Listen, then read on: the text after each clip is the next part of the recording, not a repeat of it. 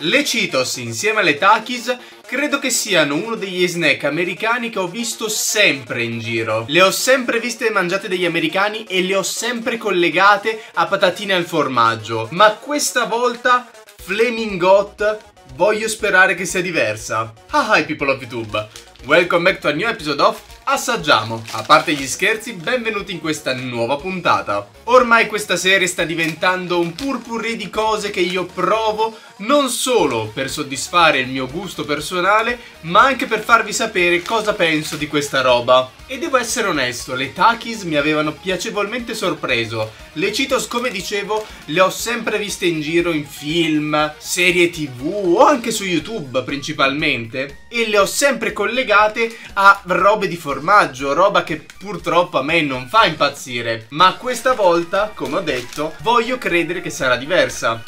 Quindi non perdiamoci oltre e proviamole subito. Allora, l'odore posso già dire che parte benissimo. Mi ricorda alcuni piccanti che usavano in certi kebab e la cosa non mi dispiace. Io tra l'altro quando vado a mangiare il kebab chiedo sempre di farmi aggiungere molto più piccante, perché mi piace sentire il sapore semplicemente.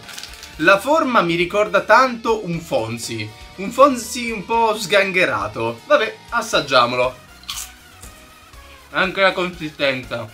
La consistenza è un Fonzi un po' più duro però. E ribadisco, il sapore mi ricorda veramente la salsa di un kebab. Non so se sia un caso, ma mi sta riportando alla memoria proprio un kebab che mangiavo qua a Bergamo e che mi piaceva un sacco. Poi credo che abbia chiuso però, o abbia cambiato gestione, che a volte è anche peggio. Perché ti affezioni anche, ti affezioni al kebabare e poi quando se ne va, oh, e basta, è finita. Però, a parte questo, il piccante appena lo mordi non lo senti si espande piano piano, inizia a espandersi, arrivarti qua in gola, il sapore ti rimane ancora in bocca. Non è forte all'inizio, si espande, il che comunque non è male. A volte è meglio così piuttosto che una bomba di piccante subito pff, ti brucia la bocca, non riesci più a mangiare un cazzo. Mentre così è anche soddisfacente perché gusti il sapore non solo del piccante ma anche della patata in sé, inizia a espandersi e ti rimane anche un buon sapore in bocca. Come dicevo la consistenza mi ricorda un po' le Fonzi ma un po' più dure Magari in realtà può essere anche che il pacco sia un po' vecchio Magari la consistenza normale è davvero quella delle Fonzi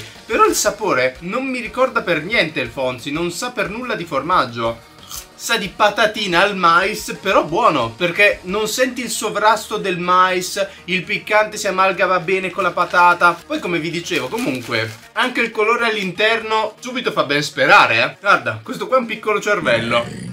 Allora, ti dirò che come al solito non sarebbero il primo snack che andrei a prendere in un negozio, ma una volta ogni tanto me le spaccherei se ci fossero a prezzo normale in Italia. Purtroppo devo ribadire il mio disprezzo nel trovare queste cose per un semplice motivo. Questo pacchetto è da 80 grammi. Questo pacchetto io l'ho preso in sconto, ma a prezzo pieno il prezzo più basso che ho visto era 5 euro. 5 euro per 80 grammi è tantissimo. È tantissimo, ragazzi. Non vi dirò dove l'ho trovato, ma in alcune fiere l'ho visto a prezzi anche più alti. A volte anche per pacchetti ancora più piccoli. Se non ricordo male, l'ultima volta che l'avevo visto in una fiera era un pacchetto più o meno come questo. Forse quello da 100 grammi è 10 euro non vorrei dire una cavolata, soprattutto per la quantità, ma mi ricordo che era 10 euro e 10 euro per una roba del genere magari anche no. Come avevo detto anche per le Takis, se ci fossero in Italia ogni tanto me le spaccherei. Forse più le Takis, ma perché c'aveva quel sentore di lime che a me fa impazzire. Comunque, mangiamone ancora una e diamo il voto.